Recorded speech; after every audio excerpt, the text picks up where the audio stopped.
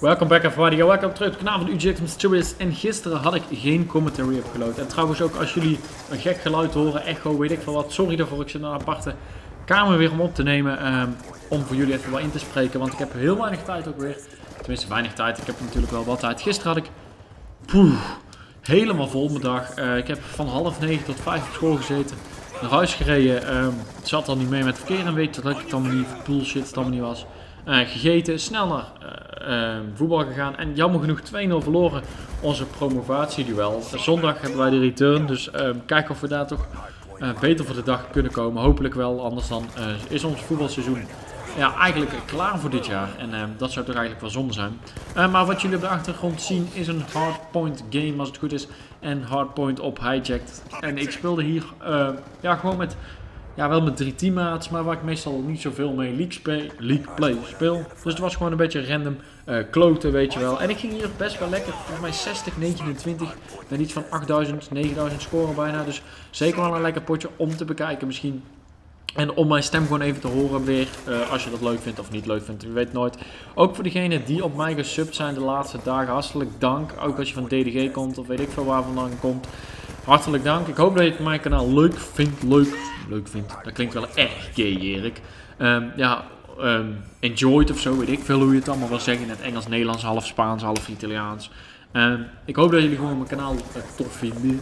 Oh, dan ben ik alweer Belgisch. Uh, ik ben heel verschillende talen bezig vandaag, maar ik hoop dat jullie gewoon uh, ja, een beetje misschien tips van krijgen. Uh, misschien mijn stem leuk vinden of grappig. Maar ik denk dat vooral voor degene die mensen die mijn kanaal niet kennen, vooral uh, een beetje gameplay gebaseerd, een beetje commentary gebaseerd is. En um, ja, bij andere mensen is het gewoon weer net anders. Dat heeft iedereen zijn eigen drive, zijn eigen motivation, eigen drive in. En um, ja, dat heeft iedereen voor zichzelf. Maar uh, ja, de laatste dagen gewoon druk bezig geweest met alles en nog wat. Met school, met ja, met, met gamen, met toernooi van Fish, dat ga ik direct weer even doen, even regelen. Uh, dingen opstellen, noem het dan maar op. Ik moet direct ook nog koken en alles. Uh, want ja, ik moet ook iets eten, want anders val ik weer neer natuurlijk. Uh, maar dat komt allemaal wel weer goed. Um, ik ben natuurlijk ook bezig voor die Moabs, double Moabs, triple Moabs misschien ook nog wel. Ik ben ook Black Ops 2 aan het spelen. Ik zal je zeggen, ik zal nou gewoon een mening geven en die heb ik al wel vaker gegeven en misschien ook niet. Um, er zijn altijd uh, geruchten van dit en dat en zus en zo. En um, ja, ik heb natuurlijk uh, de Xbox One gezien. En um, Xbox One heeft denk ik de meeste gezien. Of de PlayStation 4 hebben ze ook natuurlijk gezien. Maar de Xbox One is laatst in het nieuws. Uh, ja, voor alle features die er allemaal wel niet op zitten. En ik kan je één ding zeggen. Wacht gewoon heel even ja, de Xbox One af zou ik zeggen eigenlijk voor al die gasten die nou al kritiek gaan geven. Je kan pas kritiek geven als het er is. En als je het uh, uitgeprobeerd hebt, dan pas kan je kritiek geven, vind ik. En uh, ja, ik hoop gewoon dat Xbox One een mooie, goede console wordt. En we zullen het gewoon af moeten wachten. Ik heb een aantal dingen gehoord die niet helemaal pluis zijn. Ik hoop dat die nog um, ja, aangepast worden of zo. Um, dat zou toch wel iets beter zijn. En um, ja, dan zien we het gewoon. Want ik hoorde ook dat er misschien je headset weer iets speciaals mee moet. Uh, dat je daar weer een adapter of zo moet verkopen. Dat heb ik gehoord van Optic Nate Shot. Dus als jullie kijken, die had dat weer gezegd. Dat is Engels. Optic Nate Shot is een Engelse man. Engelsman, Amerikaanse. Die League Play heel goed in is. Uh, tenminste, hij doet vaak met die toernooien mee. En hij, zit bij een van de beste teams in de wereld. Dus um, hij kan zeker wel, hij krijgt die hij krijgt ook al, uh, ja, hij heeft contact natuurlijk met Call of Duty. Dus hij weet daar een beetje meer van af dan wij en ik en uh, iedereen. Uh, maar ja, ik moet gewoon zien, Xbox One, Call of Duty Ghost lijkt me wel super vet worden. Um, ik hoop natuurlijk wel dat er een aantal dingen, en dat heb ik ook met andere mensen besproken, een aantal dingen van MW3 in zitten. Zoals een Moab, zoals Specialist. Ik hoop dat Deadman's Hand, Last Stand, noem al die crap maar op, eigenlijk eruit zijn. Want die naaien me soms echt zo op een streak. Ik hoop dat gewoon die RPG's en zo uh, een beetje eruit gaan. Ik hoop een sniper lobby, maar dat zal wel weer niet. Ik hoop ook Ground War Domination. Dat zal denk ik ook wel weer niet. Dus ja, we moeten kijken wat het is. Ik hoop wel dat hij morgen op terugkomt. En wat ik ook heel fijn vind, en dat is denk ik wel fijn, een Black Ops 2 class set. Class, uh, ja, hoe je je klas kan setupen. Dat je gewoon drie primary attachments, noem het dan maar op. Zo'n klas setup is fijn, maar dan wel de iets betere perks erbij, weet je wel. Van perks die je ook pro kan halen. Je een beetje Black Ops 2 daarmee combineert, een beetje MB2 natuurlijk, uh, de mappen iets beter maakt, noem het dan maar op, dan kan je misschien, um, denk ik wel, een hele goede, misschien de beste Call of Duty maken die er dan, dan tot nu toe is geweest. En ik hoop dat die ook gemaakt wordt, want Call of Duty ligt echt op een, ja, wat kan je het zeggen, een groot gat in het midden, weet ik, van de oceaan. Nee, er zit gewoon een groot gat in Call of Duty en dat ziet iedereen in de views, kijkers, alles.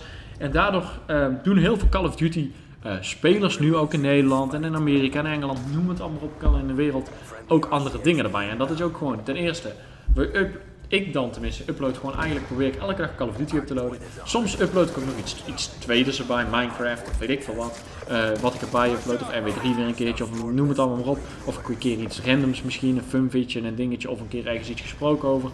Uh, noem het allemaal maar op. En daar praat je gewoon over. En daar ben je gewoon mee bezig met, uh, ja, met jouw kanaal.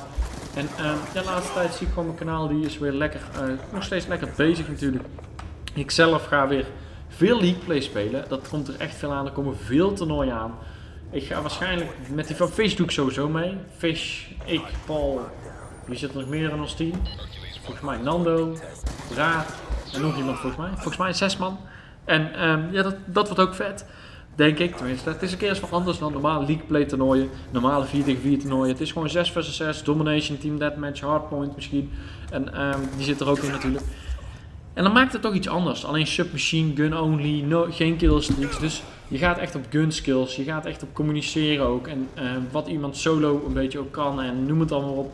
Het gaat niet meer om van oké, okay, ik kan mijn streak halen en dan, oh, dan zet ik hem even vast en noem het allemaal maar op.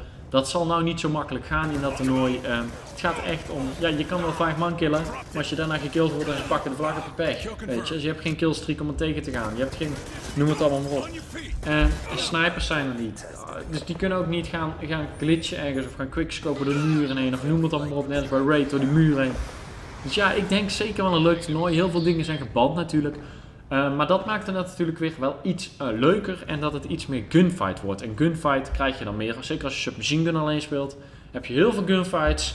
En dan denk ik zeker wel dat het een leuk toernooi wordt. En dan zie je ook wel uh, ja, hoe iedereen staat een beetje in de community. Tenminste in de community en wie meedoet natuurlijk. Want er zullen ook teams meedoen die zeker wel wat kunnen. En um, ik kan dan, ik weet echt niet wie misschien de titelkandidaat is.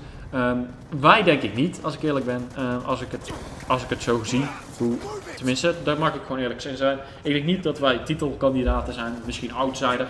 Uh, maar ik denk wel een, paar teams die misschien wel aardig goed zijn. Ik weet het niet allemaal, want ik ken ze natuurlijk niet allemaal. Maar ik gun gewoon iedereen die kans in die in het toernooi met Fish meedoet echt super bedankt alvast voor het inschrijven. Want heel veel messages, je krijgt ook e-mails van ja, stuur wat terug als je dit hebt gehad en zo, noem het allemaal maar op. Ik zeg, alle inschrijvingen die je krijgt, die krijg die lees ik, die kijk ik. En je krijgt wanneer je echt in het toernooi zit, dus als we die 64 teams hebben, krijg jij van mij iets terug. Tenminste, zo wil ik het doen. Dus dan pas krijg je van mij iets terug, krijg je herkenning van jij zit in het toernooi of zoiets. Dan krijg je iets terug. Of bijvoorbeeld uh, een aantal vragen, bijvoorbeeld je teamnaam. Of, uh, want dat is ook belangrijk. Je teamnaam moet erbij staan. Wie de captain is. Dat je zes spelers hebt. Dat je misschien tijden waar je sowieso al niet kan. Bijvoorbeeld uh, op donderdag en vrijdagavond kunnen wij nooit met ons zessen, weet je wel. Noem het maar op.